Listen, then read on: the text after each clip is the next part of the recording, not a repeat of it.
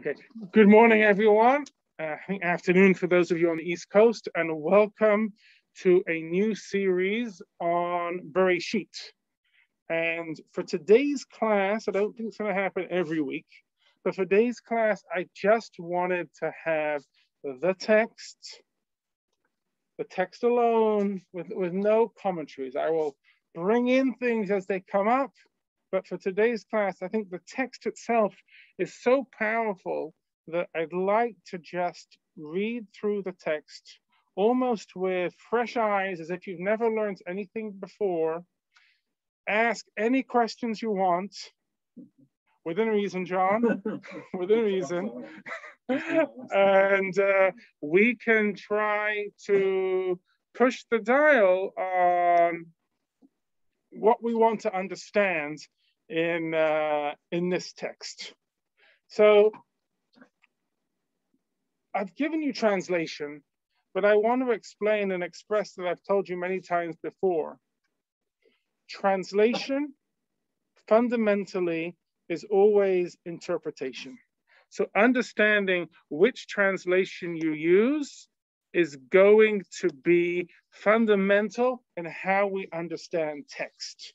For example, the very first line of the Torah, which we're going to see here, Bereshit bara Elohim et hashamayim et haaretz. Most of you know is, in the beginning, God created heaven and earth. But if you have a look at the translation I have given you, it says, when God began to create heaven and earth. This is what happened. What is the difference between those two translations? In the beginning and when God began. What would you say? What is the difference between those translations? And it's not just being pedantic. Esther. When God began means that Hashem was there before and who knows what else was there before. Good. The beginning sounds like it all was that, that was the beginning. That was the beginning. When when God began implies that God could have been doing other things before God decided to work on Project Earth, Project Universe. Okay, it implies that there was life, maybe even worlds before this one. According to Midrash, there were 976 generations or worlds before this one. Okay? Which means God created, destroyed, created, destroyed, created, destroyed, created, destroyed, until he sat down with this one. Okay? So understanding when God began is telling me here is God began this project, but it doesn't give me any information what happened before. And guess what? That's not our purpose. Most of you know, often the questions people love to ask me, what's life going to be like when we die? What happened before the world was created? You know what? I got nada. I got nothing for you. I don't know. It doesn't mean that there isn't anything written on it. It means until you've been there, you don't know what's going to happen after we die. And guess what? Until you can ask God, no one knows what was here before God decided to create. All that notwithstanding, the Torah does tell us, tohu vavohu. The land was this phrase here, tohu vavohu. And the translation I've given you there is unformed and void. V'choshech al tahom, with darkness over the surface of the deep. V'ruach Elohim merachefet al hamayim. And there was a spirit or a wind from God sweeping over the water. And I just want to try and understand what are we talking about here? Like before God did anything, the world was unformed and void. And there was darkness over the surface of the deep, and a wind from God sweeping over the water. So, what's this water? So, before God created the world, there was already stuff in existence. Which sounds, again, again, I don't want to be a heretic on my first lesson here. So, John, you're in good company.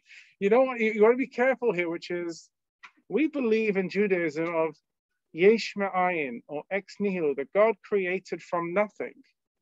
This verses imply that what? At the beginning, when God began to create, there already was matter. What matter was there? And is it an exact translation because it's darkness over the surface of the deep? Mm-hmm. But deep is not tangible, uh, so it's the surface of something intangible. Correct. So Is I, exact translation? I agree with you that you got some vagueness in those parts, but the mayim, the water, everyone knows what water is. Okay, H2O, we know it chemically, we know it physically. It's a liquid. Can be uh, can be a solid when frozen. You can even make it into a gas. We know what it is. Okay, we know what water is. How was that there before God creates? What is tohu vavohu? Unformed and void. Is that antimatter, matter? Well, we, I don't know what it is. And this darkness over the surface of the deep. That's a good translation. Let's, let's go with it. It's an okay translation. I, I, I quite like it. That's why I chose it. It's not terrible it's very hard to translate ambiguous terms. So, you know, there are some words like vayomer, and he said, vaidaber, and he spoke. They're easy, okay? But when it's giving me tohu vavohu, chaos is a good description. You know, it's hard to really go through what that is. But what I want you to explain here is, I'm reading that verse verse, and it's saying, there was water there. But it might not have been organized water, like a lake, an ocean. It could have just been water. I know, but still. But when, you think of Yesh Ayin, of God creating from nothing, I'm expecting there to be a black space. I don't know why, why but my mind goes to uh, a Hollywood uh, theme. Uh, It's a complete black spot. I'm in, uh, maybe I'm in a blue, screen, a blue screen or a green screen. There's just nothing there. This description seems to be there's something there. There's a spirit of God or a wind of God. There's water. There's some elements there. There's something tangible there, which again, this is why I like studying things like this without commentary, because otherwise you're like, what's this, what's that? Because that's what Rashi is driving you towards. Rashi doesn't ask this question, okay? One of the things which is fun about studying without commentary is you don't get bothered by their questions. You get bothered by what are your questions? I've given you a title here of six or seven days of creation. You're probably not going to get anywhere near that question because it's, a, it's going to be at the end of the packet. It's probably going to be next week or next month. Right now, we have unanswered questions. And the question is, what do you do with unanswered questions? You're like, okay, the bell's gone. I'm free. Don't worry about it. The rabbi is going to start something new next week. Or are there questions which we grapple with, that we think about, which stay with us? And I want to try and come to a resolution of it. Now, I'll be honest, this is not a major question for me. And the reason why it's not a major question for me is because of what I said at the beginning. It's what happened before God created the universe. And so, therefore, the only person, the only being who can tell me what that is is God.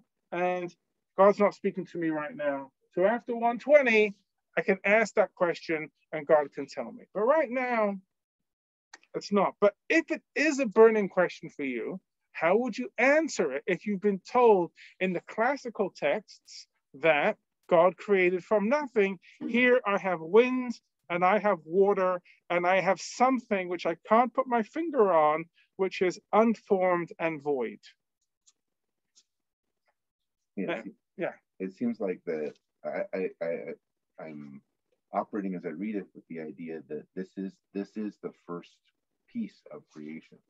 So before this, there was nothing, and then the initial act of creation was whatever this is. So the first pasuk prior prior to the first pasuk, there's nothing.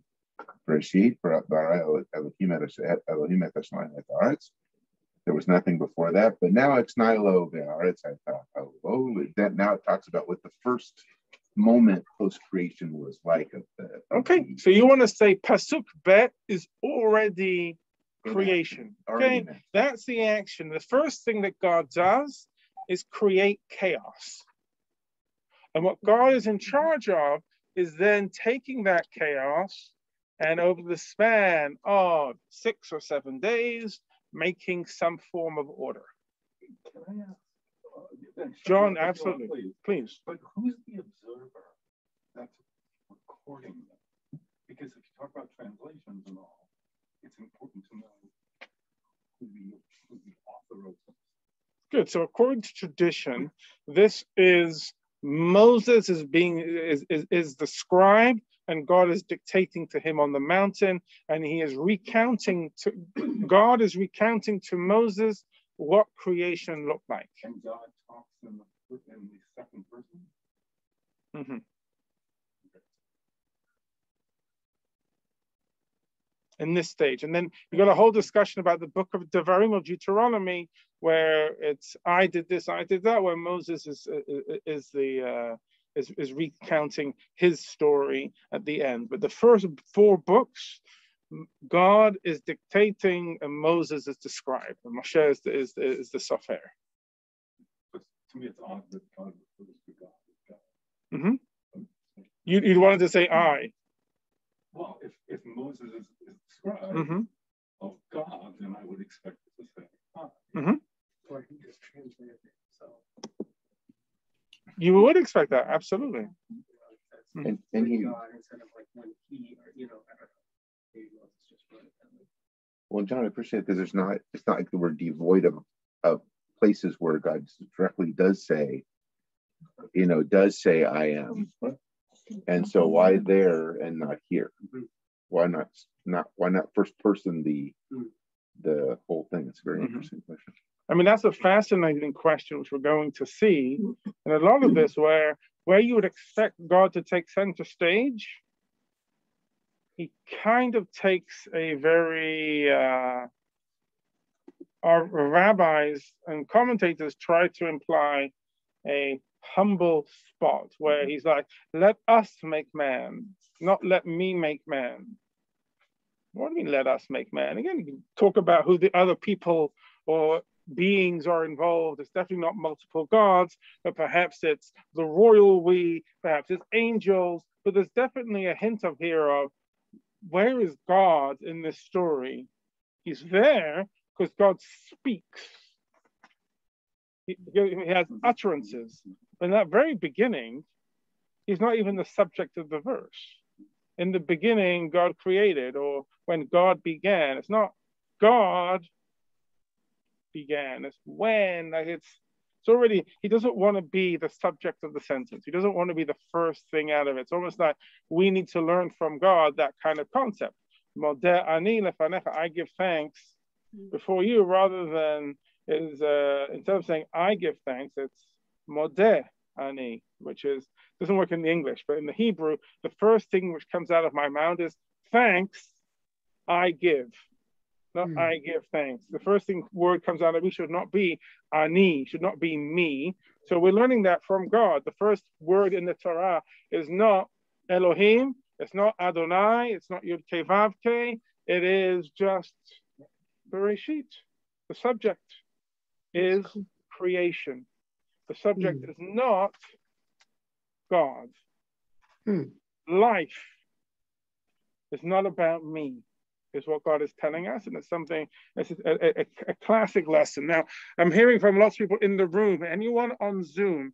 This is a new class, a new series where mm. I'm happy to be the guide and uh, uh, give lots of solo commentary. But I want you feel free to unmute and share your opinions. I have a uh, just yes, Roz. I, it, it does seem um, in this first verse that that God's create that there that there was creation before his creation of heaven and earth. So you like my interpretation, Roz. You like that that, uh, that perhaps God before God created the world, he created something else to use in that blueprint. Whereas we had Jeff's position, which was no. Sentence number one, that's your title. Verse two is verse two is okay. He's already started the creation piece.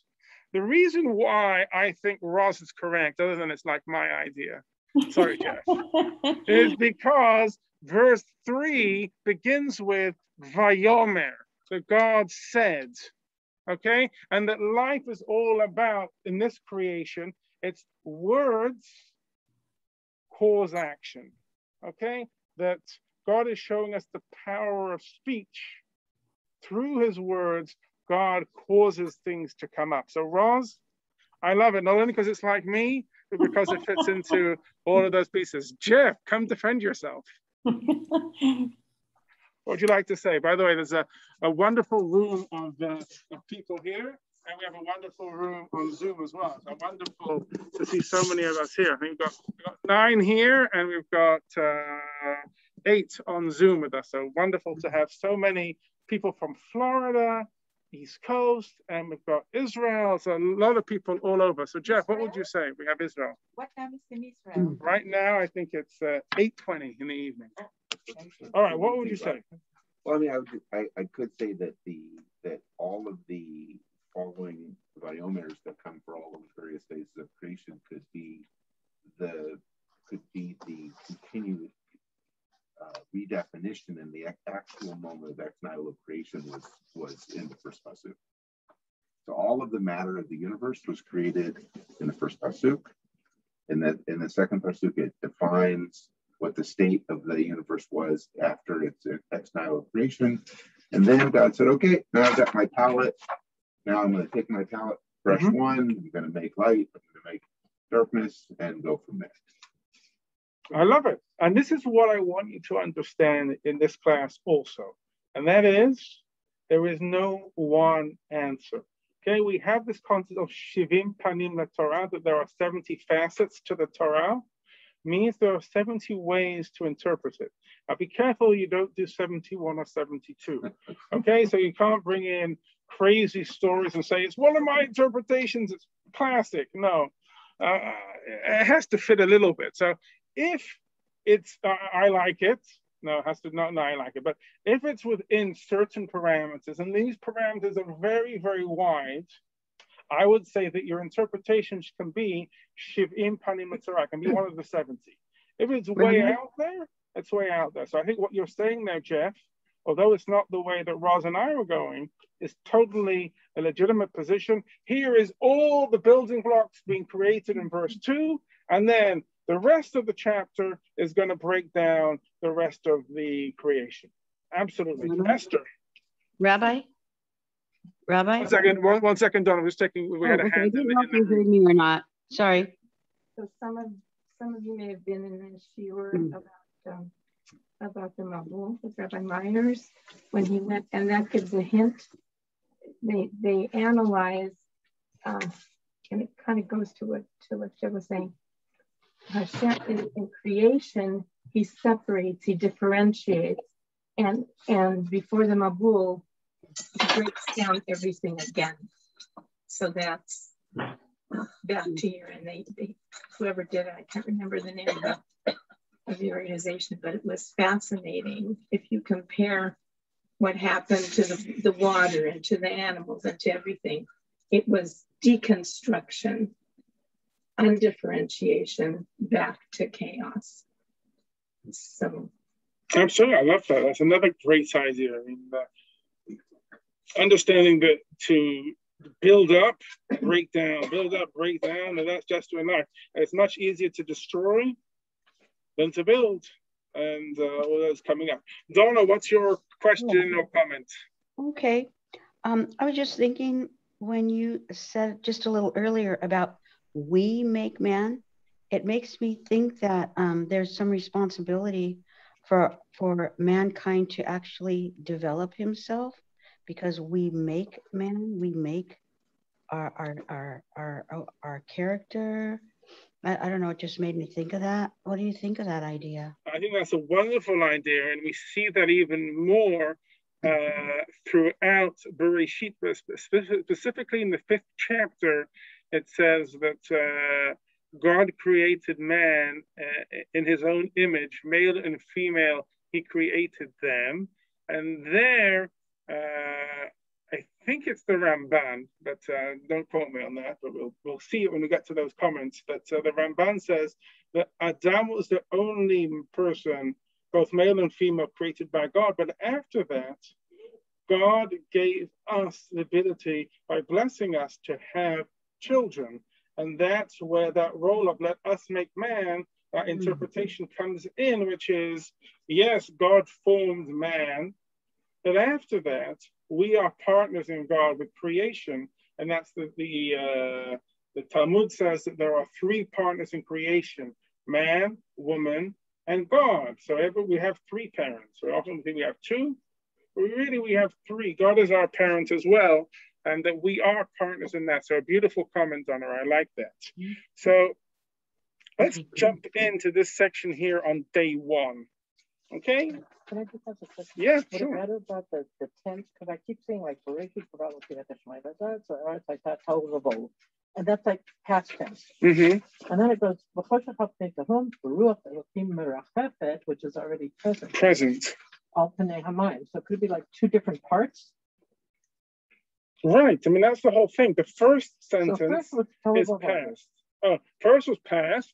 Then. So the Mayim wouldn't even come into class. It's like another part. Then there was Choshech and there was Mayim. Yeah, it's almost like, you know how we talk about, and again, we can get into this a little bit, which is, I don't know how much everyone knows, doesn't know. Chapter one of Bereshit, of Genesis, and chapter two, are they complementary stories or are they arguing on how the creation story took place. So we're going to get and see that. Here, from what you're saying, is that in a microcosm, in that verse, is that two competing events mm-hmm. for what's going on. Is Pasuk Bet and the land or the earth was chaos or it was unformed and void with darkness over it. Is and then the and then you've got the, the, the wind hover, God is hovering over the depths and the water and all that. Is that a separate item? And so therefore, is Pasuk Bet taking that uh, challenge that we have of, is that Perek Aleph and Perek Bet, chapter one and chapter two, fighting for what really happened? Or do we read it the way that Jeff said, it's just everything happened in that pasuk, and then we're going to delineate it, or we're going to go with, which I think you might be hinting at, which is what we said before, perhaps saying there was things which were existing before God created the world, that there were worlds beforehand, and there was these things, and creation was making order of chaos. Okay, so I'm not trying to be vague, I'm not trying to evade. I'm deliberately suggesting multiple interpretation. And this is just a different way of understanding. I remember when I first started learning Chumash in depth, and trying, there was always these rabbis who would try to, can I fulfill every position? Can you have it in halacha as well? Can I fulfill all the positions? The Mishnah Berurah is the bottom line halacha and Ashkenazic position. He loves to fulfill all the positions of the rabbis that came before him.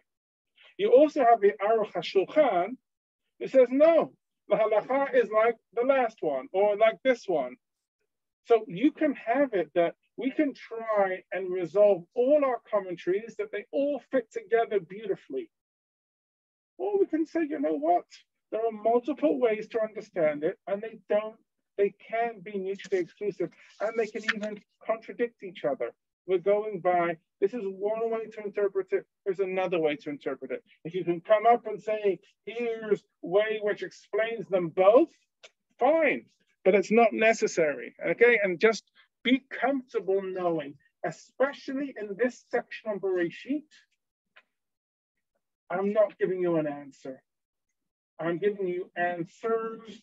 I'm giving you possible solutions, but mainly I want to develop with you questions and I want you to sit with them and meld with them. It could be you want to email me during the week or have a grab a coffee with me and discuss it more. What's interesting here? What's going on? It's not going to be Rabbi Hassan has resolved Perek Aleph of Bereshit. Here is the definitive answer for what exactly happened on each one, why it happened, what it means, where it didn't. No. Perek Aleph is the most ambiguous chapter known to human literature. And I want to tell you one more thing, which is uh, something which uh, I'm a you are the beneficiaries of the fact that I'm teaching a class on Bereshit at Northwest Yeshiva High School, and I'm teaching the freshmen there. And I said to them, what are your questions on Bereshit? And the, one of the fundamental questions you're going to get from teenagers is, how does this fit with science? How does creation story fit with science? And my answer, sitting down or on one foot, is science is how. The Torah is why. We are learning why. We're not learning how. So if you're reading the Bereshit story of chapter one, even chapter two, and you're like, okay, now I've got my timeline, and this is exactly how old the universe is, and this is how things work. Well, guess what? The sun is created on day four. So t- tell me what a day is. A day, how can you have a 24 hour period if the sun is created on day four? It's not that. The Torah is not telling me how the world was created, it's telling me why. And what is the why? The why is God created this universe, God created humanity, and we have a purpose. And that's how it begins. It's not answering how did it come about? Okay? Why? Probably because the Torah is written in the language that human beings can understand, specifically the human beings who were created 3,300 years ago, who received it, not, sorry, not those, not Adam and Chava, but the humans who received the Torah, who were slaves in Egypt. The ancient Israelites 3,300 years ago had a certain knowledge and certain reference points.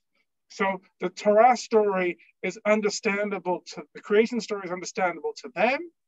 It's cryptic to them, and it's, stand, it's, un, it's understandable to us, and it's cryptic to us. And we, our job is to try to explain it. Now, again, how you resolve Torah and science you can say they're completely opposite spheres and never let the two mix in polite society.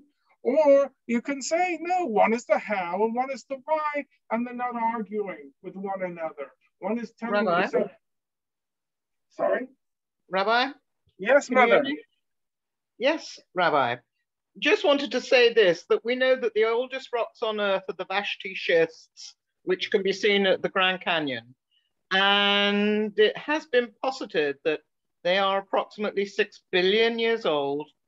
And we are going to, for the purposes of this discussion, regard 1 billion years as being one day.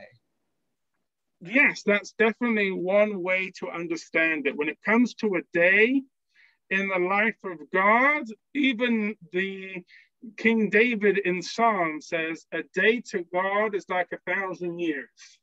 You could easily say a day to God is like a billion years, 100%. Uh, the ancient, not the ancient, but the Kabbalists of the Middle Ages already posited uh, in their now not very uh, accurate calculations that the universe is 15.2 billion years off, so we're a little off by uh, uh, by one by 100,000 million years, but they're pretty close, give or take. But the whether the world is whether the Earth is 4.3 or it's six billion years old, the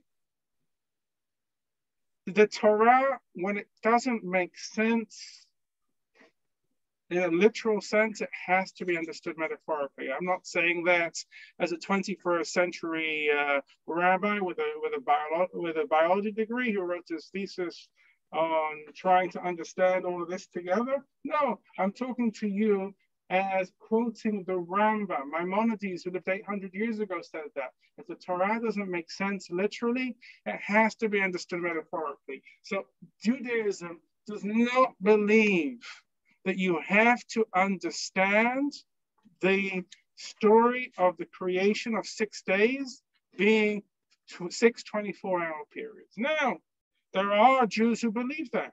There are Christians who believe that, but it doesn't have to be. We don't live in that world. And I won't say anyone who believes it's 24 hour periods is wrong, because I think, you know, they have what to rely on to say that. But I think it's far easier to express it that these are six days, that each of these days are not 24 hour periods. They could be billion years, as my mother said, or they could be epochs, whatever the stages, but it doesn't need to be 24 hour units. So let's look at the first day. Okay, so it's uh, depending what package you have. For mine, I got them side by side, so you have them top to bottom. Wherever it says day one, have a look at day one.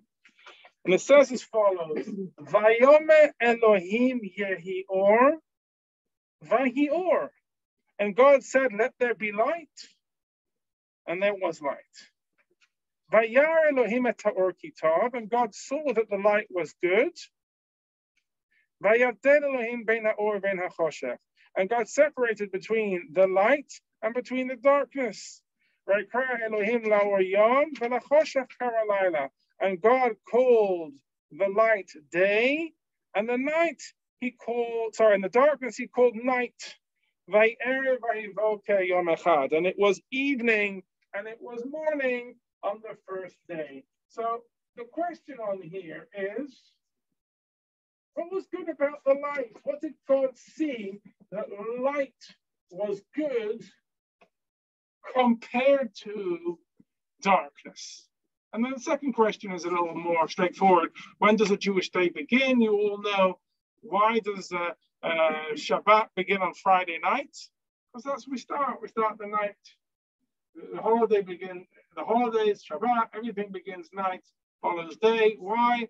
By Erev It was evening, it was morning. It's telling you in Jewish days we begin with a night and the day follows the night rather than the night following the day. But what is it, the more fundamental question, what did God see in the light that the light was good? I don't know, it's just so obvious. Why is it obvious? What is it that we, why is it that we like light so much? Why is it that we get depressed and see Seattle November to March, uh, and we get so excited on on on Shabbat and Sunday. Oh, blue skies! Let's go! Let's go! Let's go! Let's go! Let's go! But when it's dark, like why why do we have such a negative association with dark? Why why light is so positive? Why is it good? You can be light in the dark in, in the light, whereas when it's dark, if there's no electricity, all you can do is sleep. Okay, you'll be less productive. I, I love it. God could see it was good because light allows for creativity. Roz? Um, I was also thinking it's uh, light is uh, illuminating, it illuminates what he's creating. It brings it to our to the awareness and sort of a spiritual from a spiritual perspective awareness Rabbi? I, I love that idea. Donna? When there's light, we can see things. Mm-hmm. Absolutely. That's like, like, like, like what Elise said. Absolutely. And allows you by able to see to be able to be doing, to be able to be productive. I like that idea from from from Roz that we're illum- not only does it allow you to see, but it illuminates. It makes it even better. Uh, Rabisa, you look like you had something to share on that one. That the light was good. You were like nodding at me there. You could have just no, been saying hello. Really, mm-hmm. no, I was nodding whatever everyone was saying because it is an interesting question. Like it feels obvious. Like, well, why do you have to ask? But then when you really try to articulate into words what is the value of light? It's much trickier than I thought. I was just really nodding in, in hope of hearing everyone's profound thoughts on it. Rabbi, Yeah. when I and when and when I use the term see things, I don't just mean physical things. I mean it helps us to see the non-physical, the spiritual also. Mm. Oh, that, that that's very profound, Donna. I like that a lot. Thank you. So I, I, I want to try and get here, which is I put questions on this sheet, which, and again, uh, I know I'm repeating myself, but I wanted to really uh, explain what is happening in this Bereshit class, which is different to any other class I would give on Chumash. I don't have an answer. I really don't. Like, what is it about light that's good? Is intrinsically, I know that that's true. But I can't tell you, and everything which everyone is saying it's true, but I don't have an answer on it. You know, I can answer the second question: wh- When does a Jewish day begin? That's easy, because it's, because it's, it's, it's either one or the other. But here, and what I'm showing to you is, there are questions where do you want to plumb the depths to realize and seek out wisdom into what's going on? Esther. Well, the other thing, two things about this is that we know from the first passage that darkness existed. So this is the first differentiation. This is, and so that in itself is good. And now I'm going back to a about, I don't know, when I was six years old, never bothered me. How was there light and darkness day and night before the sun and the moon? Ah, you go, here you go, Esther. Where is the sun? Where is the significance of all the light coming from? What is that light source? This is what's known as the Or Haganuz, the hidden light. There was light at the beginning of creation, which, according to our tradition, was hidden, put away. And it's going to be something which is only appreciated by the righteous in the world to come, by the tzaddikim in Olam Haba. There are many things which are hidden because we don't want them falling into the wrong hands. God did not want this primordial light to be used by the wicked, so it was put away. But that would answer the question of what was the light if sun was only created on day four. Okay? But, sorry, Yeah. Yes, Rubisa. If the sequence of events as described in the Torah would not be how I, as a human, would logically perceive the sequence of events. It would be either first, um, Vayavdel, first they were separated the light from the dark, Mhm. or, and then Hashem would see it was good. Or he says there was light and then he saw it was good. But what's the separation that is then happening if the light has already been created? So that's an even more powerful question, which is he God saw that it was good before its separation. So even when it was commingled in the darkness, even before it was even formed, perhaps, God knew that that light, its properties, whatever it was, was in its essence true. And that's something which is beyond us, which is can you see the goodness in something before it has become manifest? That's godliness. Okay, God can see before something comes into the world. Jeff. Well, I, think it's. I mean, I appreciate the question because it, it's it's uh, uh, it's because if you read it a little bit, you could read it as God saw that it was good, and then the first thing that God does to react to that is change it. Right. So I mean, so you could look at it from other, you know either edge. Uh, uh, uh, and I can't resist also the temptation to suggest is, you know, we have two ideas of matter in the universe, at least current scientific thinking, light matter and dark matter. And so it's easy potentially to see that when you stand back, you see matter. And that Hashem stood back and you'll forgive the physical, physical physicality of it, that God stood back and saw from a distance the concept of matter. And then in separating them and creating light and dark for whatever that is. That that's a that's a two different kinds of matter that clearly seem to exist scientifically in our universe. I'm glad that you're mentioning that, Jeff, because there's a beautiful book which I read when I was, I want to say 19. I was uh, I just got back from my uh, year in Israel and I was studying biology. And uh, I don't know why, but this, whatever it was, this this this parasha was bothering me. And there was a lecturer coming through Manchester, and his name was Natan Aviezer, and he was a physicist. And he was trying to explain from pure physics how to explain creation from a scientific perspective. He has two books. One is called Fossils and Faith, and the other one is called In the Beginning, Natan Aviezer. And he goes through and explains from a scientific perspective how these six stages, not six days, but six stages work. And I think that first day, I think he's going again, it was fundamental, but half a lifetime we, away ago. We went to hear him. We all went to hear him, and we bought the books. See, there we go. I, Rabbi, uh, I- my, my, my, I my have- parents were quite taken with it as well. Yes, Roz. I was, as I read this part, um, it makes me think that, so God thought that light was good and then decided to make it permanent. Introduces the concept, I think, in a way of permanence that it's let there be light, but then it's going to be now day versus night on a regular, consistent, permanent schedule. Absolutely. So, and that understanding that in order to appreciate the good, I have to have the bad, mm. which is how do I know what light is? I don't have the opposite. So I need the choshech to appreciate the light. But guess what?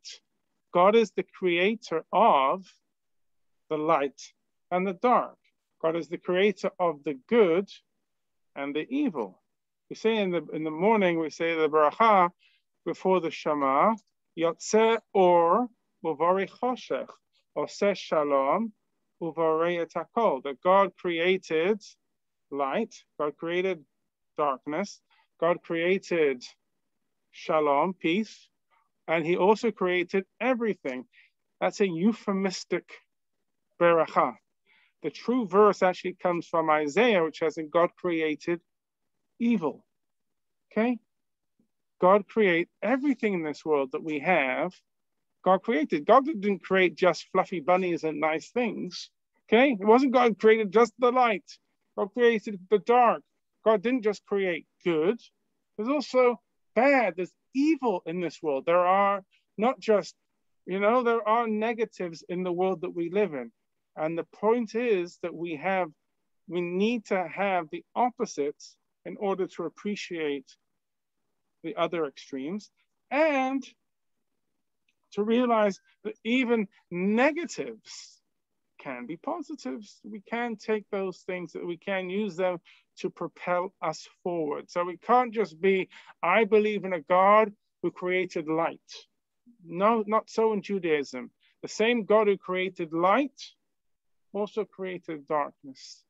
And there is life in the dark, and there is faith in darkness. There is faith in challenges, faith in difficult times, more so sometimes and more fundamentally sometimes than when everything is light and good and wonderful.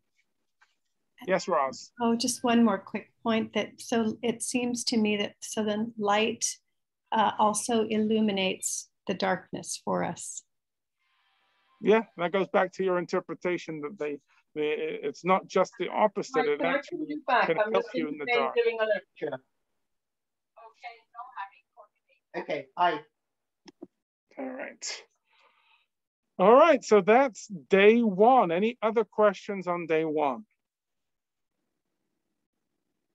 Okay, so I'm going to, we're going to try in the few minutes that we have left to try to go through day two. And if we don't finish it, we'll pick it up next time. But I just want to, I, I don't want to stop now. I want to go, I want to go a little bit further and have a look at day two. Day two says as follows, Vayome Elohim yehi rakia b'toch hamayim. Let there be a rakia. A firmament is normally the translation, and I've given you expanse. I even know what that means. In the midst of the water, vihi mavdil bein mayim lamayim, and it will be able to separate between the waters and the waters. Vayas Elohim et and God made this expanse or firmament. Vayavdel, and he separated Bein Hamayim Hashem Tachat Larakia. He said between the waters that were above the firmament, Uvein Hamayim Hashem Ma'al Sorry, those which were under the firmament, Uvein Hamayim Hashem Ma'al and the waters which were above this expanse or firmament. And it was so. Elohim and God called this expanse or this firm stuff shamayim, sky or heavens. Yom and it was evening and it was morning, a second day. Is day two a good day? Doesn't say. It doesn't say. Monday, it's just another manic Monday. No, it's Mondays aren't good. You know, people don't like Mondays because they've got to go back to work. You know why we don't like Mondays? Because there's no tove. There's no good. There's no good. Monday isn't good. Why is Monday not good? It's all about separating. It separates me from my Sunday, which I want to know. It separates, but there's no completion. Day one, God creates and completes. Day two is an incomplete form of creation. If you have, and then just to skip forward to day three, which we'll look at more next time, you have the word tov twice. And that's why we say to people, what's a good day to get married? Tuesday because it's Pa'amayim Ki Tov, because God said it was good twice. Okay, so Tuesday is a great day. Most of us, Monday, we're all depressed. Tuesday, ah, wonderful. And it's because we're all Torah scholars and we know that Monday there's no good, but Tuesday's got a double portion of good. But what's going on on that day? God is some kind of firmament expanse. He's separating upper waters, lower waters. Now that was a mystery. That's even harder to understand. And uh, I'll put that back up there with verse two. Uh, I don't know what's going on here. God is hovering over the waters. It's similar to God is separating the waters, the upper and the lower. I don't know what's happening there. Does anyone have any uh, idea what's going on? Why does the water is in the form of, I'm sorry, of no, no, clouds already? so it could be sky and it could be clouds. And it's telling me how evaporation works and how rain clouds come down and it forms down the rain and then it forms rivers and lakes and it goes back up again through evaporation and then clouds and rain. But I want to think there's more to it than I'm not saying it's not only that, but I, I'd hope there's more. Well, light and dark really helps us. We can see light and dark, the good mm-hmm. and the bad, the good and evil. This is like, you know, we already have the water. That's fine, but we don't. You know, it, it's not a big deal to us because we don't see the benefit of it. See, I, I don't know. I mean, I hear what you're saying, but like today, my drive along the lake, it's gorgeous. And what makes the lake so gorgeous right? It's watching the gradient. I don't know exactly what's happening here, exactly what Hashem is creating, but when the lake is beautiful, what makes it beautiful? Watching it going from the depths of the water up, that like foam, I mean, like the steam on top, and then coming up into the sky. And what that gradient looks like is deeply awesome. So, oh, I love, it, I love it when it's glassy. No, it's yeah, beautiful, beautiful, but it's yeah. not really helping us. You know, all mm. the other all the other creations are helping us. This is pretty. It's beautiful. yeah. So you're saying this doesn't help because you don't see what's happening in the uh, you don't see what's happening in the what's it called in, in the in the you, you don't see the firmament, you don't see the sky, you don't see the heavens. So God's I creating I don't see something which is not benefit for my, and maybe that's why it's not good because it's not for my instant use. It's uplifting though. Rabbi Hassan, I have a different opinion of that. Yeah, but compare it to the. One, one second, Rob, one right. second. Yeah. Just want to hear from Rob and then uh, we'll take it back to hear from Esther. Yes, Rob? So we, we see this word, uh, it's like, it's like Havdalah, this, this, uh, have, uh, this word separation several times in, in, on this day. And when you have the separations, it, it creates space. It just, there's a, which involves boundaries, you know, that, that, uh, before this, there was just this limitless mass of water. Now there's, now there's space and, and you know, we, that's what we need as, as, as living beings. He was, he was definitely creating something for us. It was, it, it was a, a physical location for us to exist in. So I like that, and I think that's true. Havdalah, separation is essential to distinguish between light and dark, distinguish between day and night, distinguish between Shabbat and weekdays, uh, lots of things like that. But if that's the case, I would want it to say that when God separated it, that it would be good. Why Well- is it not good at this stage if he's already made the separation? Well, because there was nothing really created, you know, when you. just- All he's doing is moving things around. The Right, water's right, already right. there. Sorry. No. You know, when you're like, oh, look, I did this project, and you're like, no, you just moved a bunch of things around. You didn't create anything. That's what I was. Oh, come on, that's I love all that's it's called organization. I organized that drawer. It was wonderful. that drawer looks great right now, by the way. Yeah. Uh, I don't know. All right. It's an interesting point. I uh, I want us to stop here, but I want you to. This is a, I'm giving you a sense of this class of what it's going to look like.